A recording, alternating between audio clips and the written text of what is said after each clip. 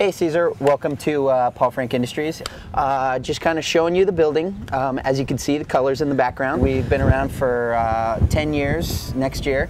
You may be familiar with Julius the Monkey and our vinyl accessories. Some things you might not know about us is that we are very pet friendly and we love dogs. Uh, we have a couple problems with some of the pets that we'd like you to check out. Come on Cesar, let me show you the dog park. When we first moved into this uh, big lovely building about three years ago, we decided to build a dog park because so many of our employees had dogs. Uh, most of our dogs are very friendly with each other and they get along, but some of them don't. We have a couple issues with some of the dogs that we'd like you to come out and help out with. At about any given time, we have about uh, eight dogs running the halls and uh, in the offices in the building. And uh, as the company gets bigger um, every year, more and more people start uh, bringing their dogs to the building, and it causes kind of more of a disturbance.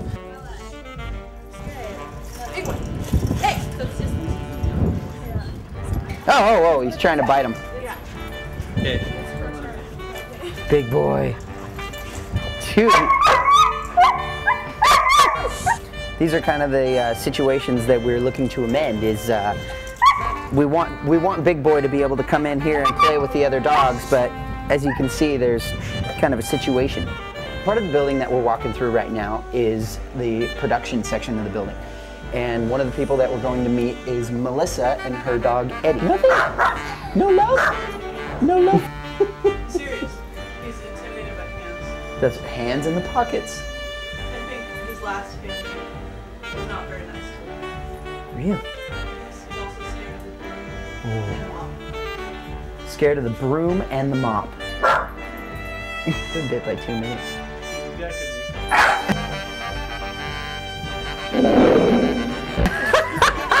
Please tell me you got that. Now we're going to introduce you to some other dogs who we'd like to have a little uh, little help with. Okay, now we're going to see Jillian and Big Boy. Big Boy is a pit bull and is very good with people, but very animal aggressive. It would be amazing if he would not try to eat every other dog here and they would play along and get along in the doggy park in the back.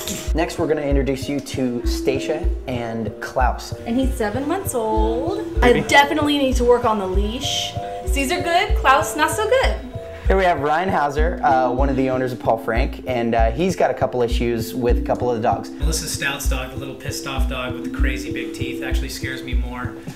Um, but yeah, definitely pit bull is something I'm not comfortable with. Although I'm not a dog owner myself, I really love animals. It's an important ingredient to the creative process that people be able to bring pets. This is Bella. This is one of the owner's dogs, John Oswald.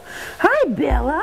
Bella is very territorial of her company. She is uh, she's the only dog that is allowed to run completely free through the company.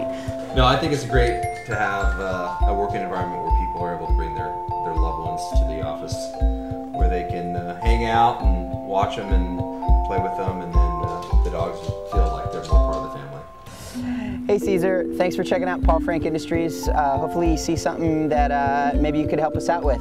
And uh, we appreciate you taking the time to uh, take a look at our pets. Hi, Cesar. I'm Bella.